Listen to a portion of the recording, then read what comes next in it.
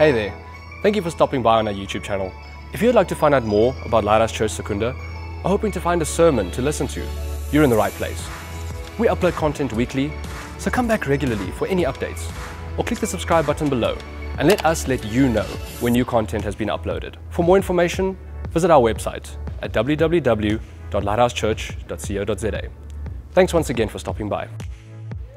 So, New Year, everyone has these New Year's resolutions, and you have these hyper religious folk that have an issue with New Year's resolutions because they say, well, but uh, they have a whole lot of stuff to start, stop listening. I love the idea of New Year's resolutions. I love the, I think we, the idea that we take stock of our lives and we say, this is what needs to be different, and I'm going to go to church more, and I'm going to booze less, and I'm going to stop these habits, I'm going to change these lifestyle habits, and I'm going to do something different with my family. I think it's a fantastic idea. I think every term, every quarter, we should have a new term resolution where we go, this term it'll be different. This term we're going to, I'm going to spend more time with my children. I'm going to spend more time with my, uh, with my wife. I'm going to spend time in the Word. I think we could do it every month, every week. I think if, you know, in the book of Lamentations, it says His mercies are new every morning.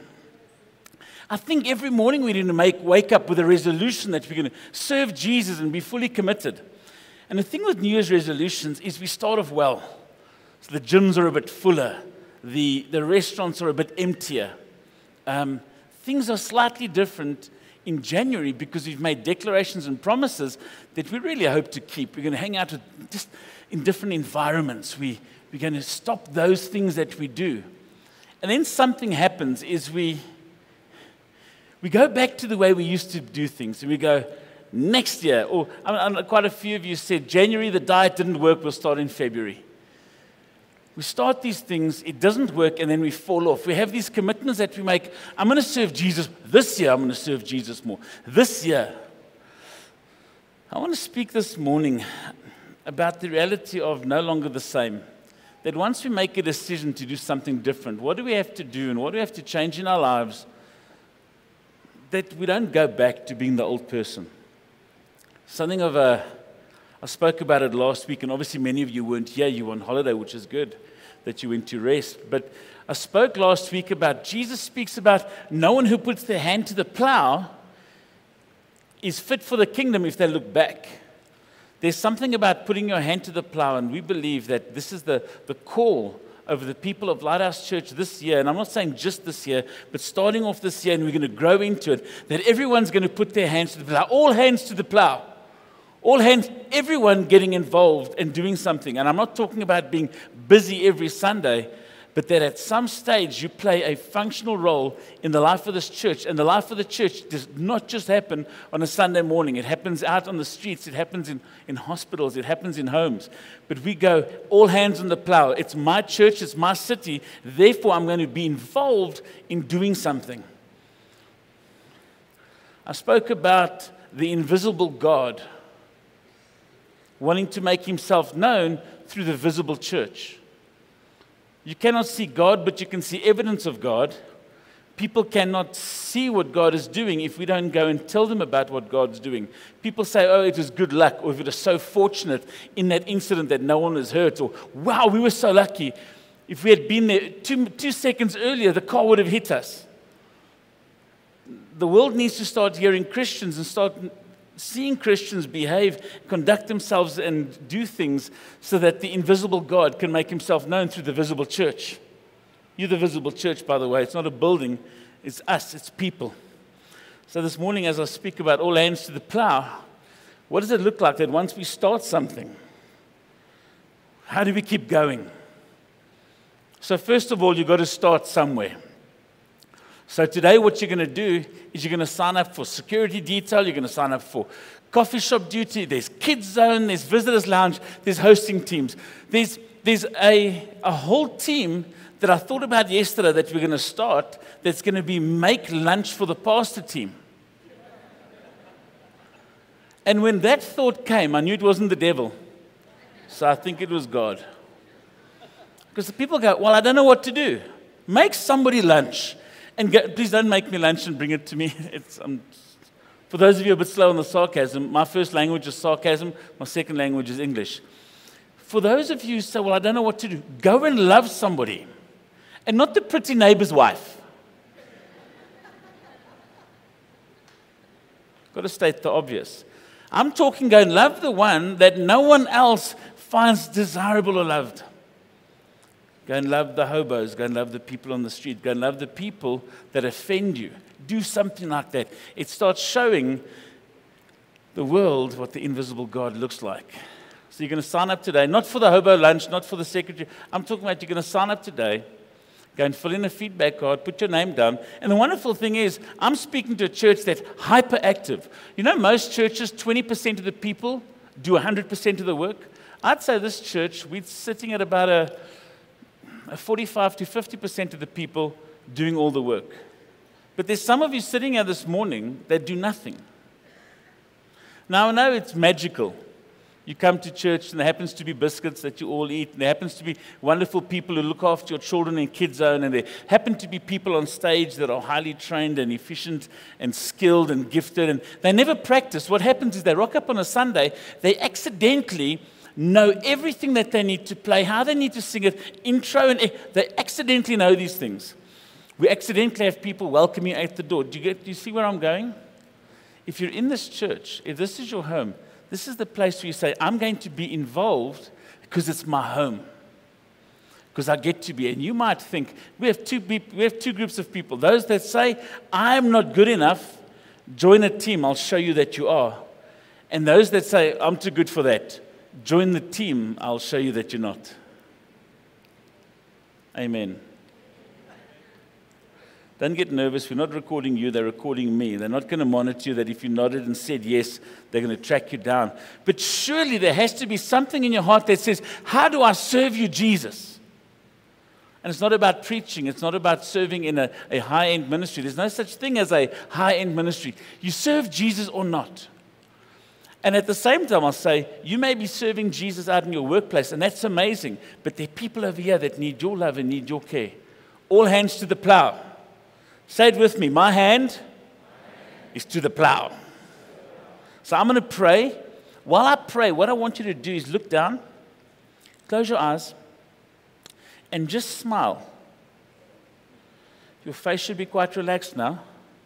And you smile as I speak this over you. Thank you, Jesus, that you love us and that you care for us. And I pray that this morning, as your word is preached over us, it'll change our hearts, it'll change our faces so the world will see that we have not been inoculated with lemon juice. We bless you in the name of Jesus. Amen. Okay, we've got to do this. Please stand up.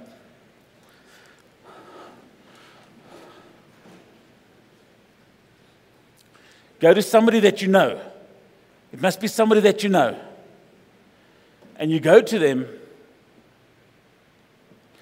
you shake their hand, and you say, I hope you're happier than you look. Quickly do this. I hope you're happier than you look. I hope you're as happy as you look.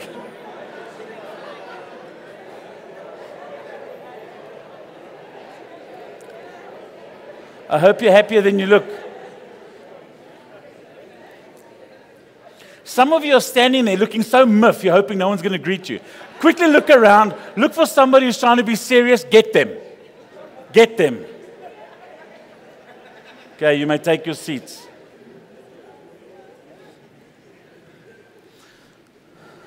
I want to read something to you today. I'm going to unpack it really quickly. I'm going to share with you what I believe God's saying to us. And if we don't have a, the joy of the Lord as being our strength, this year is going to exhaust us. This year is going to flatten you. The joy of the Lord needs to be our strength. And no matter what's happening around us, we need to have this joy, this uncontainable joy. I'm so happy as to what's going on. I'm not worried about politics and politicians because Jesus put them there. And if He put them there, it's His problem. It's not my problem. And I don't have to vote for them. I'll vote for someone else. I'm going to vote for Jesus. I'm hoping I'll get to the booth and there's a picture of Jesus. And it says, Did you want to vote for Jesus? I want to thank you, Lord. But at the same time, I don't put my faith in politics. I don't put my faith in the rand. I don't put my faith in what's happening in my job. I don't, put my, I don't put my faith in my church. I put my faith in Jesus. He's the one that's unshakable. He's the one that he's not perturbed. He's not frightened. He's not scared. He's not caught off guard by what's happening. So, for the love of Jesus, when you get out there, will you just go to people and go, I have the joy of the Lord? Because we run around to people and go, Have you seen what it said on Facebook? Oh my gosh, it was on Facebook. It must be true. But never put fake news there. They'd never use Facebook as a, as a device to stir and provoke people politically and racially. And we look at those things and we go, oh, I've decided I'm no longer going to live in that headspace because I'm not going to look at what that says. I'm going to spend more time reading the word about what God says. Matthew, Mark, Luke, and John, the four Gospels when you get into the New Testament. And it says, it, it describes Jesus' ministry. And he'd hang out with sinners and he'd hang out with people that are rejects of society. I read that, I go, Thank you, Jesus. You would have hung out with me. I would have been one of them. And it gives four different points of view written by different guys, one being a, a, a Jewish uh, tax collector, all the way through to disciples, and then Luke, the doctor. He, they give this whole breakdown of Jesus. Then the, the fifth book of the Bible, the book of Acts, it's the Acts of the Apostles. No, it's the Acts of the Holy Spirit. No, it's the Acts of the Church. No, the book of Acts, I think it's, it's telling us how we should act. This is how you should behave. So this morning, as I read from the book of Acts, chapter 3, this is how it teaches us to behave. Now, Peter and John, verse 1, were going up to the temple at the hour of prayer, the ninth hour, and a man lame from birth was being carried, whom they laid daily at the gate of the temple that is called Beautiful Gate, to ask alms of those entering the temple. Seeing Peter and John about to go into the temple, he asked to receive alms. And Peter directed his gaze at him, as did John, and said, Look at us and he fixed his attention on them, expecting to receive something from them. But Peter said, I have no silver and gold, but what I do have, I give to you in the name of Jesus Christ of Nazareth. Rise up and walk. He took him by the right hand, raised him up. Immediately his feet and ankles were made strong, and leaping up, he stood and began to walk and entered the temple with them, walking and leaping and praising God. And all the people saw him walking and praising God and recognized him as the one who sat at the beautiful gate of the temple asking for alms. They were filled with wonder and amazement at what happened to him. While he clung to Peter and John, all the people, utterly astounded, ran together to them in the portico called Solomon's. This morning, I want to look at the four ones. You know, he's one of those people, they were one of those people, he's one of those people, she's one of those people. I'm going to look at four of these ones. And as I look at it, it's going to apply to us at some stage and it's going to provoke us to be the people that God's calling us to. The first one, verse 1. Now, Peter and John were going up into the temple at the hour of prayer, the ninth hour. Those are the together ones, the ones that hang out together. That's us. That's us. We get to hang out together, we get to spend time together. We don't, eh, we don't value being together as much as we should. I value church not because I'm the lead pastor. It's kind of expected that I'll be here, but I want to be here. That's why I applied for this job. I want to be here. But I also enjoy hanging out with you. I enjoy prayer meetings. There's an example of these guys going. They're going to prayer meeting on the ninth hour. When you read about the hour in Scripture, the ninth hour is 3 o'clock in the afternoon because the zero hour in Hebrew tradition or in the Middle East, the zero hour is 6 a.m. So the, the fourth hour would be 10 a.m. So, the ninth hour, three o'clock in the afternoon, they're going to pray. It's where we hang out. We act together, loving each other, caring for each other. Now, I'm speaking to a whole lot of people that are sitting on a Sunday morning in a building at church, hanging out together. So, I want to tell you this what we are doing right now is an absolute biblical instruction and an example given to us here that this is what we are called to do. But we're not just limited to this, we're called for so much more. So, I'm challenging you. Next weekend, Friday to Saturday, we're going to be fasting. Now, it's a funny thing when South Africans fast, we don't eat for 24 hours. 95% of the world's population actually don't eat that often, and a 24 hour fast would be a normal day. But we're saying as a church, for 24 hours, we're going to have non stop prayer from 6 p.m. on the Friday till 6 p.m., but we'll get together on the 5 p.m. on Saturday. For 24 hours, we're going to have non stop prayer book an hour. Say, I'm going to be here at 11 o'clock on Friday night. And you don't have to stand up here and grab the mic and make declarations, but you can get here at 11 o'clock on a Friday evening and you can start praying for our city. You see, as we've got the theme, all hands to the plow, we're taking it further. It's all hands to the plow. And if everyone's in, and if everyone's doing, so will I. I will not be left behind. So the theme is, so will I. People are being prayed for. People are praying for the sick. So will I. People are ministering the gospel. So am I. Are you good? To, are you good? Are you trained? Are you able yet? Maybe not. But we're going to pray. We're going to spend time praying and fasting for 24 hours here at the church and trusting God that I will be included in what God's going to be doing. You see, in his plan, all of you are included. The togetherness, Peter and John, it's a PJ ministry. You go, well, I don't really fit in. I don't really look like everyone else. I don't behave like everyone else. Trust me, Peter and John did not behave like each other. John was the disciple. He wrote in the, in the gospel that he wrote, the book of John, he writes, John, the most beloved disciple. He actually has the arrogance to write that Jesus loved him the most. He's the one that claims that he's the most loved. He's the love. He's the, he's the one who'd be humming the Beatles song, All You Need Is Love. Peter, special forces knife fighter. Because he goes up and he takes out a knife and he attacks a Roman soldier. The Roman soldier was skilled in sword fighting, and he still gets the guy's ear off. These are two such opposite guys Peter and John. One's the fighter, one's the lover, but together they go to the temple together. I don't care what your habits are. I don't care what your ideas are. I don't care what. If you follow Jesus, we have a purpose and a plan together. Our togetherness, we can get it done. I know it doesn't look like it, but I'm smiling all the time. It excites me that I get to do church with you. It excites me that God's calling us to more. Prayer and fasting. The other day I ran out of petrol. So I phoned McDonald's and I phoned the bakery. My car's still standing without petrol. I don't know why nobody's answering me. Isn't that what we do? There's a problem, and we'll speak to our neighbors and we'll speak to our colleagues about the problem as opposed to going to the one who can do something about it. If you spoke, uh, to, if you spoke to God about our country, about your church, as much as you spoke to others, I think it will have a greater impact in our city. It's just an idea. But we carry. So the first ones, so the together ones. Verse 2 And a lame man from birth was being carried, whom they laid at the gate of the temple that is called the Beautiful Gate, to ask for alms as the people enter the temple. Alms is not alms.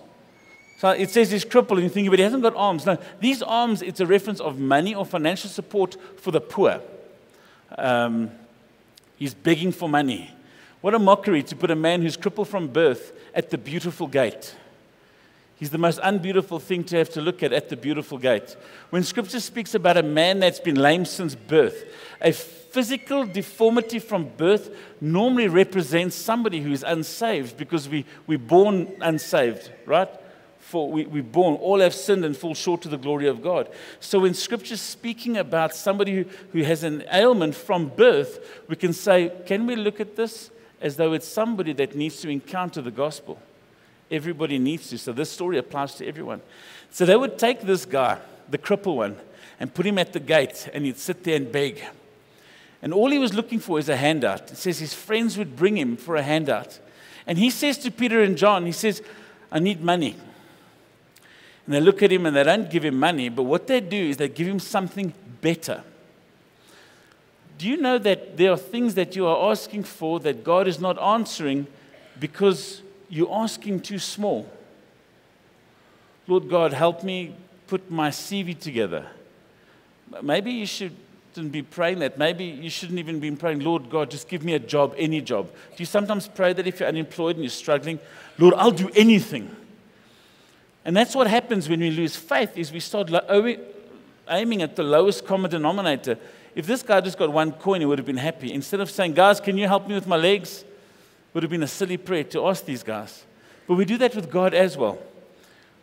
We're called to be the ones that gather, but we're also called to be the ones that go with the hope of Jesus to the ones that have no hope. We're called to be the ones that go to the spiritual cripples. We're called to be the ones that go to the spiritual cripples out there. And I'm speaking about those that don't know Jesus or spiritually crippled.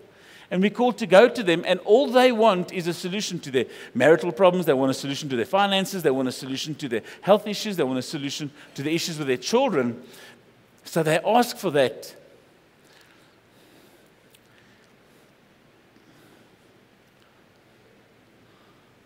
AV desk, don't worry about my notes. It's fine. Let me present this to you instead, friends.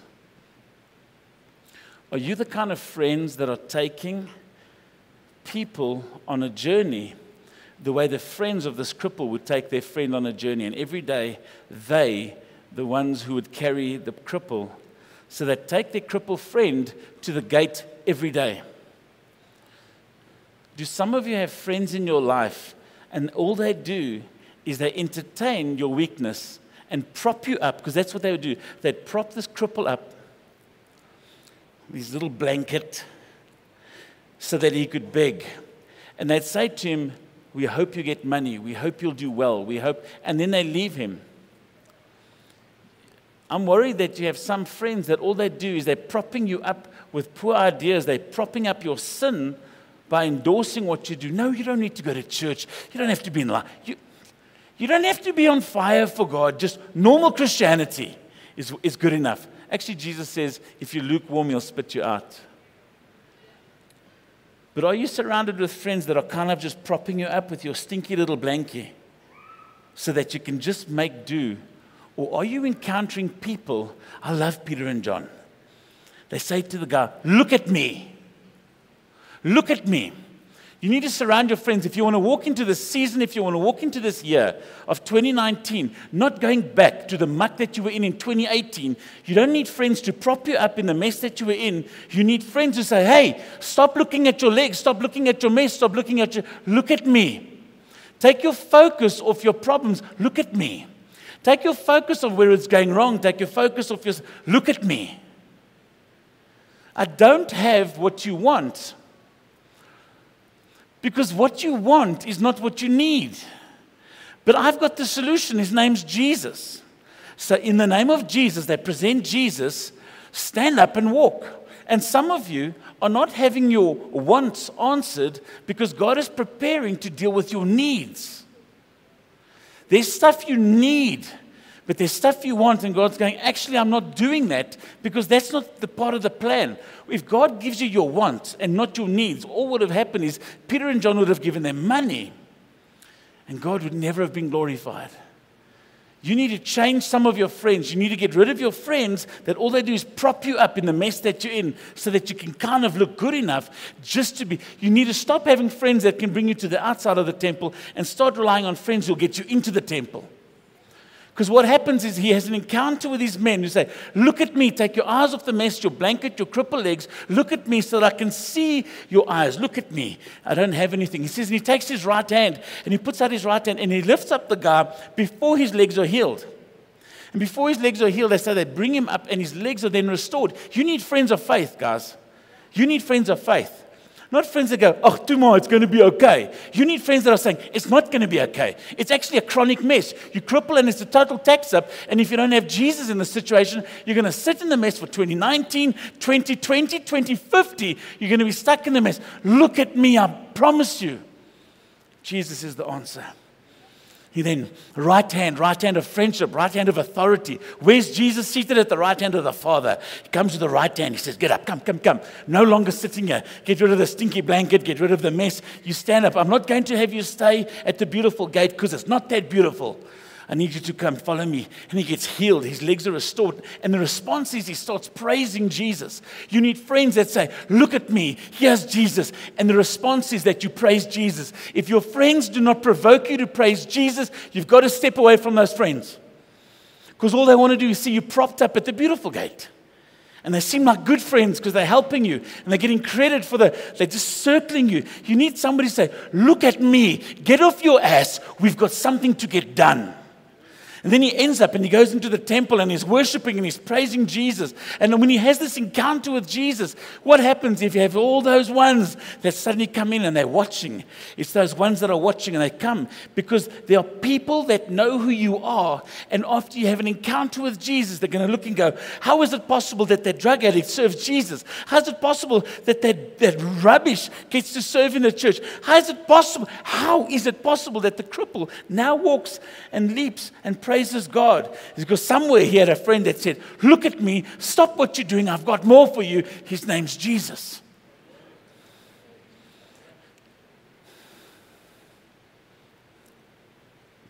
Some of you need to start hanging out with those friends. And you know what? They're sitting here all over the place. And you know what? Some of you, you are those friends. Stop propping up people at work and saying, Don't worry, I'll pray for you. And then you walk away. You go, you say, Look at me.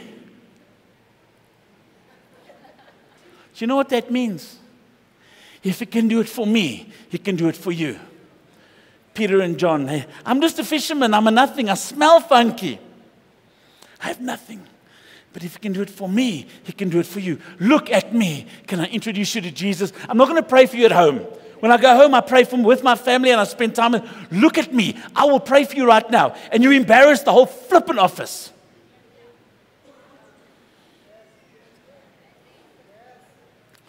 So that Jesus will step in. Put Jesus on the spot. Imagine if Peter had said, Look at me, grabs him by the right hand, lifts him up, and the guy flops down. My name's John. But he has the faith that Jesus is more interested to see him shift. Your friends that you encounter, when they encounter you, are they then provoked into coming into church? Because that's what happens. An encounter with a friend that serves Jesus will see your friends come into church. I'm inviting my friends to church. Wonderful. Why? So I can do all the work? So my pastors can do all the work? Or do you want to invite your friends after they have an encounter with Jesus that you can then point to them and go, I've got a place, we gather we hang out in a team because these guys, we hunt in packs. We're like wolves. If the DNA of our line, we hunt like wolves. You want to join us? We get together every Sunday, every Wednesday, every Tuesday, even Friday night. We get together. You want to join us because there's strength and unity. And you know what? The guy that's called to go from sitting at the gate, healed, called into church, is the same guy that's been called and being told, now you go and do. Freely has been given, freely received, now go and give it out freely. It's you. It's you. There's space, there's place for everyone in this race, friends. And every one of you, you're called from your mess, from your crippled state. You've been called by Jesus this morning. If you're sitting here and you do not know who Jesus is, oh, he's a good, good God and He loves you more than you'll ever believe. He's all, he has all the authority, He has all the power. He knows the stuff you need to actually have access to. He knows your mess, He knows you cripple, and He's standing and He's waiting for you to respond to Him. So I'm saying to you, if you don't know Jesus, look at me. If He can save me, He can save you. Look at the people around you. If He can save them, He can save you. But there's also those sitting here this morning, you're called to go and call out the gold in others. Stop hanging back. I have a staff member. He danced on Friday that other staff members ran away and covered their eyes and said, Jesus, Jesus, let me not see again. He's known as that guy. I will show you the video. We're busy editing it and putting music to it. So all the staff are laughing at him. I mean, this guy, you know, he wasn't throwing his name away. He had thrown it away a while ago, and then he found his name and then he danced on it. And while everyone was laughing, I said, you know what? If I was a betting man and I had to put money on who in my staff team would go out right now and evangelize the name of Jesus, I put my money on him, that guy. Because he doesn't have pride. We need to set our pride aside. Peter and John never had the pride to go, uh, let's take him in the church, then we'll pray for him. Because if it doesn't work, out in public at the beautiful gate, the preferred gate, I love the fact that it says his friends would put him there. It is funny how they would put him there at the hour of prayer because surely there's an expectation that something's going to happen as all these godly people walk in. Let's, let's throw our names away a bit. Not in immorality and not in poor behavior, but in total disregard. My Jesus and the message he's given me and the gospel that I carry is more valuable and more important than the way I feel about it. Because sometimes I don't feel powerful and sometimes it doesn't feel like I have authority but I'm called to be a Peter or a John, out of provoked out of love or just provoked.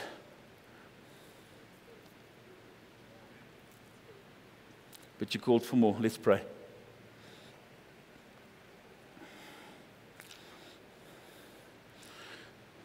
I choose to do this while eyes are closed and heads are bowed because I don't want to embarrass anyone.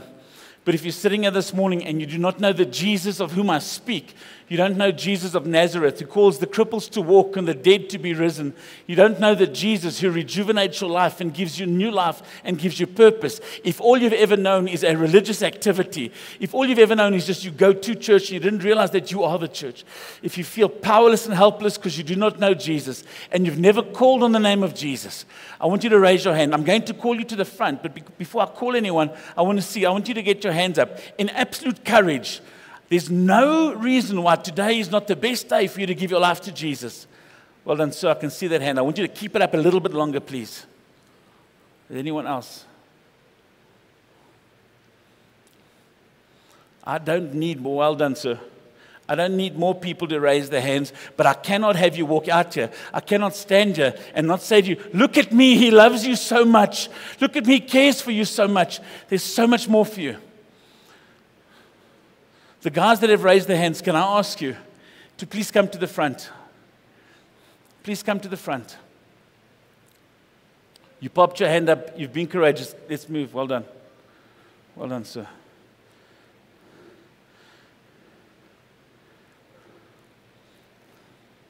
Well done.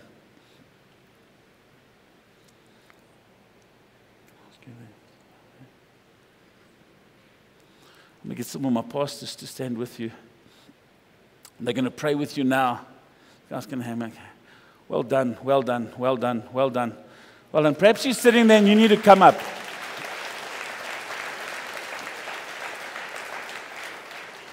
Maybe you're worried about what other people will think. Trust me, if they're the good friends, they'll celebrate. If they're not your friends, you need to make new ones. Anyone else? All right, now while everyone's looking around, if you don't have the courage and you get nervous and you get scared to be the one to go and say to somebody, rise up, stand up, and walk. And I'm not talking about just the literal cripples. If you are nervous to speak about Jesus, I'm praying this morning that God is going to give you a fresh dose of courage so that you'll be so provoked. You're not going to go, I'm not sure if I'm courageous enough. You're going to start hunting for people to minister to. If you need a dose of courage, you need some guts delivered to you this morning. Because it says that faith and courage, it's a, it's a gift from God. Will you stand, please? If you're too nervous to stand, you're the one I want to pray for.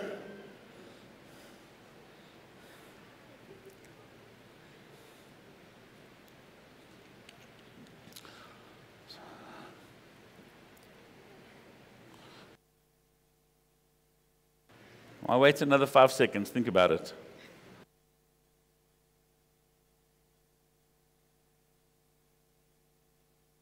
Don't, st- don't stand if you, do, if you don't want to go and speak to people. I'm, I'm, I'm saying this morning if you're the one, you know that God's calling you for more and you're just too nervous to do it, stand up.